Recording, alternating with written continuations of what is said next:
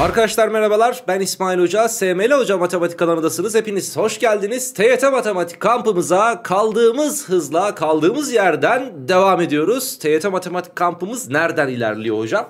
Hemen sana şöyle göstereyim. Barış Yayınları video ders kitabından sevgili arkadaşlarım ilerliyoruz. Bugün 165. sayfada bulunan yaş problemleri kazanım bakışı ele alacağız. Ve buradaki 7 örneği seninle yaş problemlerine tamamıyla açıklık getirecek şekilde çözeceğiz arkadaşlar. Ve hemen arkasından gelecek olan videoda ise yaş problemlerinin ÖSYM bakış kısmını ele alacağız.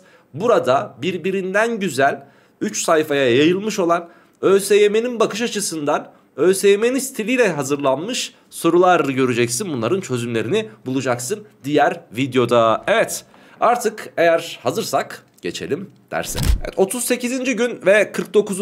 videodayız gençler aynı zamanda. Yaş problemlerine şöyle bir başlayalım. Bir kişinin eğer bugünkü yaşı A ise, bak bugünkü yaşı A ise e, T yıl sonraki yaşı A artı T olur. T yıl önceki yaşı da A eksi T'dir. Yani T yıl yani her yıl bir yaş büyüdüğün için T yılda T yaş büyürsün veya T yıl önce T yaş daha az yaşındaydın demektir bu. E şimdi şöyle düşünelim.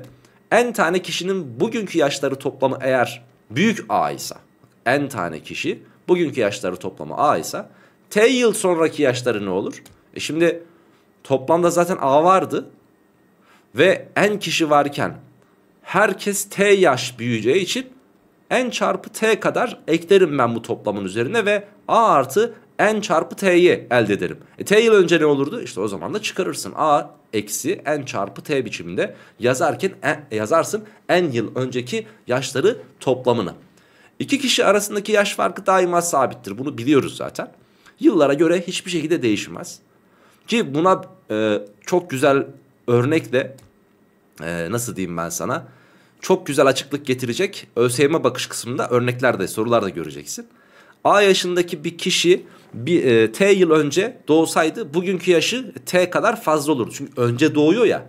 Yani önceden doğduğu için hani mesela en e, ne kadar T yıl önce doğacak değil mi? E şimdi düşün e, örnek veriyorum sen işte 2006'lısın diye düşünelim tamam mı? Eğer 2000 yılında doğmuş olsaydın yani 6 yıl önce doğmuş olsaydın yaşın şu an 6 yaş daha fazla olacaktı gibi.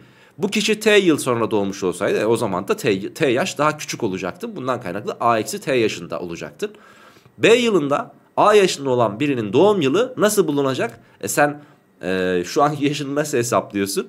Şu anki yıldan Değil mi? Kaç yılında doğduğunu nasıl hesaplarsın? Şu anki yıldan yaşını çıkarırsın. Dolayısıyla doğum yılını B'den A'yı çıkararak elde edersin. En tane kişinin bugünkü yaş ortalaması eğer X ise, bak yaş ortalamasından bahsediyorum. Kaç kişi? N. Bu N tane kişinin T yıl sonraki yaş ortalaması X artı T'dir. Niye? E çünkü N kişi var. N kişi var.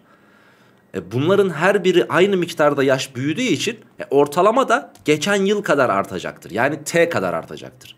T yıl önceki yaş ortalaması da x eksi t'dir diyebiliriz kısa yoldan. Yaş problemleri çözülürken yukarıda belirtilen durumların tamamına dikkat etmen lazım. Tamam. Şimdi mesela ilk problemimize bakalım. Eliz'in 13 yıl sonraki yaşı 5 yıl önceki yaşının 3 katı olduğuna göre Eliz şimdi kaç yaşındadır? Basit bir örnekle başlıyoruz önce. Biz Eliz'in yaşına x diyelim. Tamam. 13 yıl sonraki yaşı nedir? X artı 13'tür. Peki 5 yıl önceki yaşı neydi? E, X eksi 5'ti. İşte şu şunun 3 katıymış. O zaman çarpı 3 dersem bu buna eşit olur. Pekala x artı 13 dedim. Eşittir. 3'ü içeri dağıtıyorum. 3x eksi 15 geldi mi? Geldi. Şu x'i aldık sağ tarafa fırlattık. Ne geldi? 2x. Eksi 15'i de sol tarafa fırlatırsak 28 olur. Ve böylelikle x'in kaç olması gerektiğini görürüz. 14 olması gerektiğini görebiliriz. Şimdi Elis şimdi kaç yaşındadır diye sormuştu. Ben Elis'in şimdiki yaşını x seçmiştim zaten. Dolayısıyla cevabımız 14'tür. Geldik ikinci kazanım bakışa.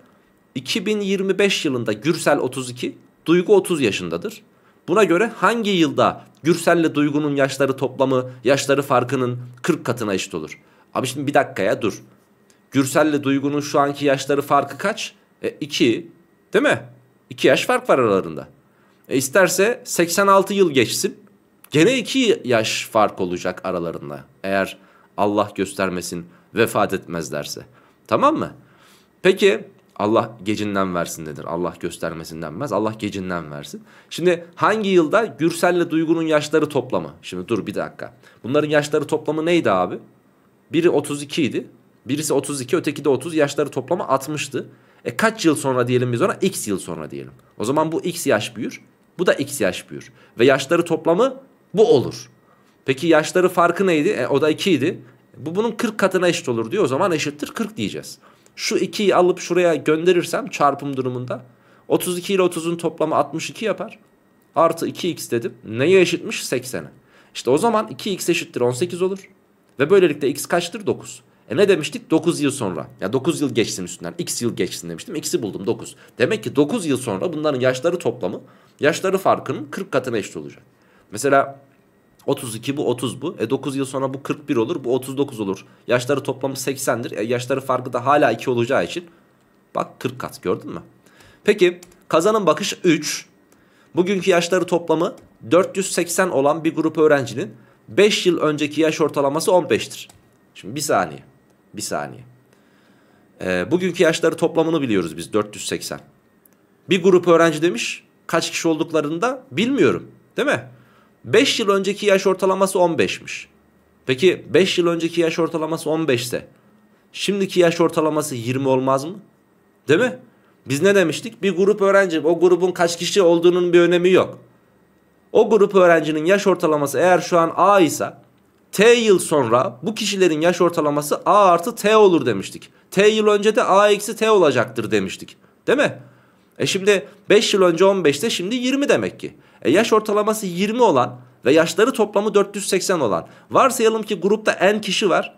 Grupta n kişi var. Ben bu 480'in yani yaşlar toplamını n'e böldüğüm zaman 20 buluyormuşum. O zaman n kaçtır diye düşünmemiz lazım. E 480 bölü 20 bize n'nin ta kendisini verir ki bu da zaten 24'tür arkadaşlar.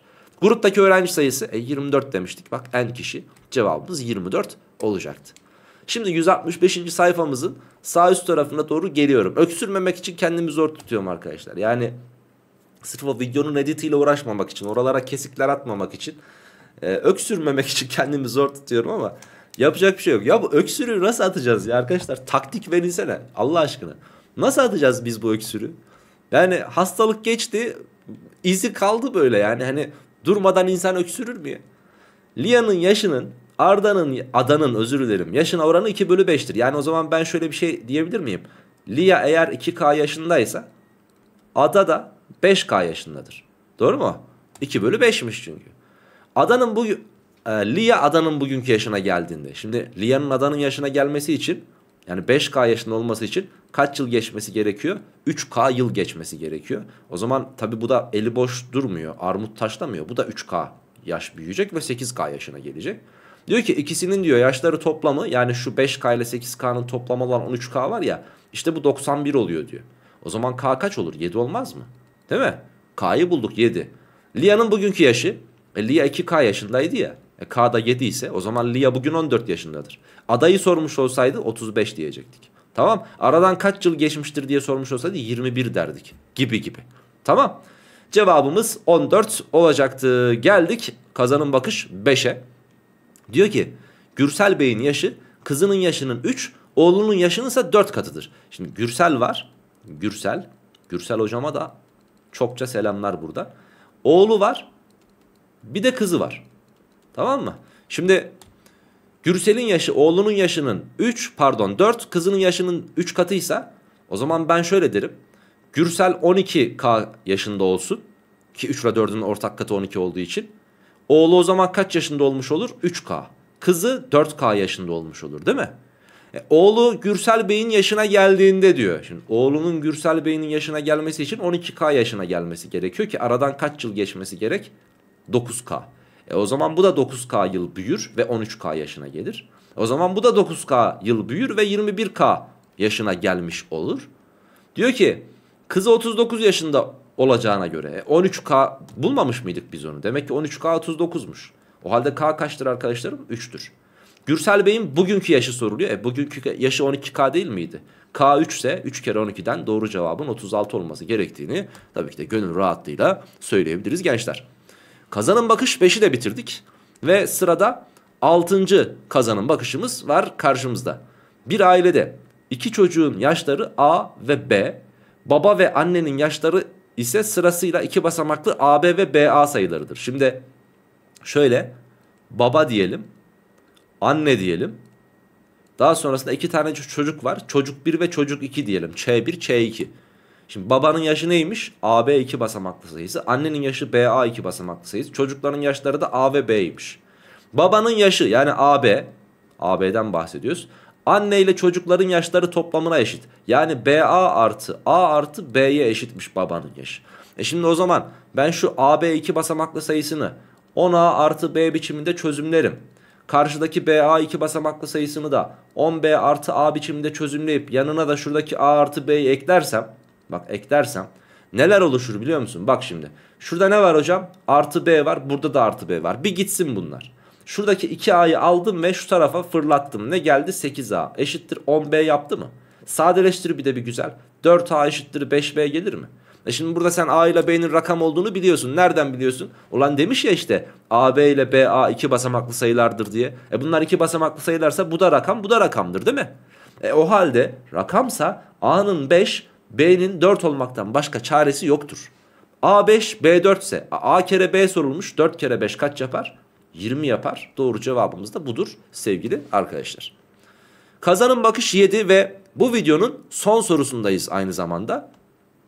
ÖSYM bakışa geçeceğiz bir sonraki videoda. Eliz 3 yıl önce, Sare 5 yıl sonra doğmuş olsaydı yaşları birbirine eşit olacaktı diyor. Şimdi dur. Şimdi birini 3 yıl önce e, doğsun istiyoruz. Öteki 5 yıl sonra doğsun istiyoruz. E, böylelikle yaşları birbirine eşit oluyorsa demek ki bunların yaşları arasında 8 yıl var arkadaşlar. 8. Şimdi Eliz 3 yıl önce doğunca yaşı eşit oluyor. Eliz küçüktür. 3 yıl öncesini alarak yaşını biraz büyütüyoruz. Sare de 5 yıl sonra doğsun diyorsa e demek ki bu büyükmüş ki 5 yıl sonra doğsun diyerek yaşını 5 küçültmeye çalışıyoruz. Demek ki aslına bakarsan Sare Sare Eliz'den 8 yaş daha büyük. Tamam yani ben buna x dersem bu x artı 8 olur. Tamam güzel kardeşim. Peki Eliz ile Sare'nin bugünkü yaşları toplama 38'miş. E ben bunun yaşını x bunun yaşını x artı 8 bulmadım mı? Topla güzel kardeşim. 2x artı 8 eşittir 38 gelir. 2x buradan 30'un ta kendisidir. X'e baktık x'te ne geldi 15 geldi. Neyi soruyor bana? Eliz bugün kaç yaşındadır? E ben zaten Eliz'e x demiştim. X'i de kaç bulduk 15 demek ki Eliz bugün 15 yaşındadır diyeceğiz sevgili arkadaşlar. Şimdi şimdi hocam bunun kazanımıyla alakalı farklı bir şeyler yok mu? Yok. Yani yaş problemlerinin kazanımıyla alakalı farklı öyle antim kuntim bir şey yok. Yapmamız gereken işte T yıl sonra doğmuş olsaydı, T yıl önce doğmuş olsaydı, yaşları farkının vurgusu. İşte e, dikkat ettiysen bütün sorularda hep isim isim ayırdım ve onların altlarına bir şeyler yazdım. Yani dikkat ettiysen bir düzenli olacaksın. iki ayık olacaksın. Tamam mı? Ayık olacağından kastım ne?